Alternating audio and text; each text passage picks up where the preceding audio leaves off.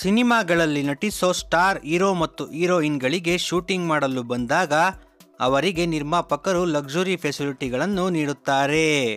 ಆದರೆ ಸಣ್ಣ ಪುಟ್ಟ ಪಾತ್ರಗಳಲ್ಲಿ ನಟಿಸೋ ಪೋಷಕ ನಟರುಗಳಿಗೆ ಅಂತ ಯಾವುದೇ ಸೌಲಭ್ಯಗಳು ದೊರೆಯಲ್ಲ ಸ್ನೇಹಿತರೆ. ಈಗ ಇದೇ ರೀತಿಯಲ್ಲಿ ಶೂಟಿಂಗ್ ಮಾಡಲು ಹೋಗಿದ್ದ ಕನ್ನಡದ ಖ್ಯಾತ ಹಿರಿಯ ನಟ ಅಶ್ವಥ್ ಅವರ ಮಗ ಶಂಕರ್ ಅಶ್ವಥ್ ಅವರು ಪಡಬಾರದ ಕಷ್ಟಪಟ್ಟಂತ ಘಟನೆ ನಡೆದಿದೆ. ಹೌದು, ಶಂಕರ್ ಅಶ್ವಥ್ ಅವರು ಒಬ್ಬ ಸ್ವಾಭಿಮಾನಿ ನಟ.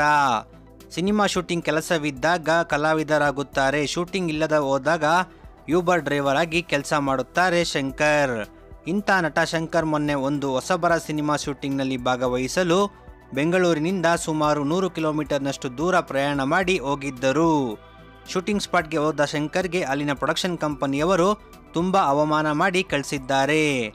ಶಂಕರ್ ಅವರಿಗೆ ಕುಡಿಯಲು ನೀರು ಮತ್ತು ತಿನ್ನಲು ಊಟ ಕೂಡ ನೀಡಿಲ್ಲವಂತೆ. ಶಂಕರ್ ಅವರು ತಮ್ಮ ಪಾತ್ರದ ಶೂಟಿಂಗ್ ಮುಗಿಸಿದ ನಂತರ ಅಲ್ಲಿಂದ ಊಟವೂ ಮಾಡದೆ ಬೇಸರದಿಂದ ಬೆಂಗಳೂರಿಗೆ ಹಸಿವು ತಡೆದುಕೊಂಡೇ ಮರಳಿ ಬಂದಿದ್ದಾರೆ.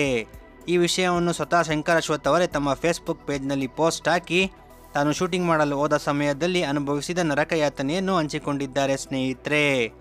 ಫ್ರೆಂಡ್ಸ್, ಇಂಥ ಮಹಾನಟ ಶಂಕರ್ ಅಶ್ವಥ್ ಅವರಿಗೆ ಕುಡಿಯಲು ನೀರು, ತಿನ್ನಲು ಊಟ ನೀಡದೆ ಕಳುಹಿಸಿದ ಚಿತ್ರತಂಡದವರಿಗೆ ತಕ್ಕ ಶಿಕ್ಷೆಯಾಗಬೇಕು ಎಂಬುದು ನಿಮ್ಮ ಅಭಿಪ್ರಾಯವಾಗಿದ್ದರೆ ಈಗಲೇ ಈ ವಿಡಿಯೋಗೆ ಒಂದು ಲೈಕ್ ಕೊಡಿ.